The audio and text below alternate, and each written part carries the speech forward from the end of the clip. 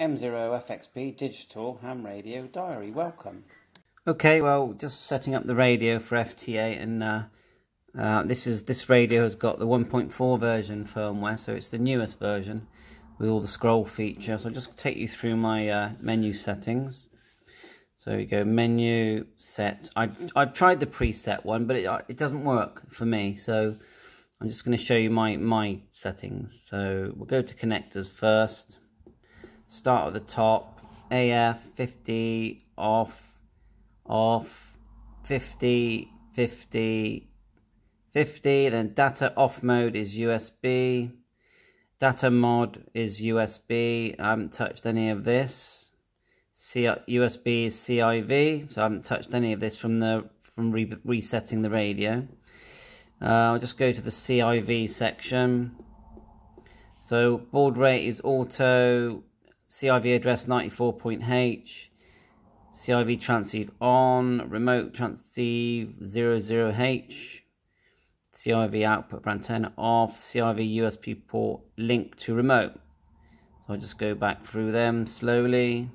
The 94H thing I think is important and the auto is what works for me. Um, so that's pretty much everything, isn't it? I've set the power at the moment to 15 watts. Made sure the antenna's tuned.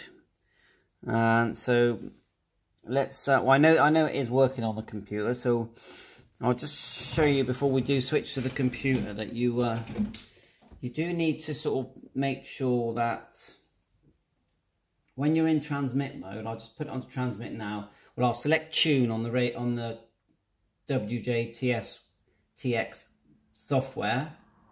And see the way it's tuned. And now look at the sort of AUX here. You need to get the AUX so that the you only get like one bar. So if I move the power on the FT8 up a bit see the way you've got about seven bars? So I'll go down a bit. And I'll, I'll show you doing it um, in a sec anyway. But just to let you know that when you're in the right position see that you've just got one little blue one showing there. It's not a great uh, to see. I'll just try and tune in. Got too much glare here.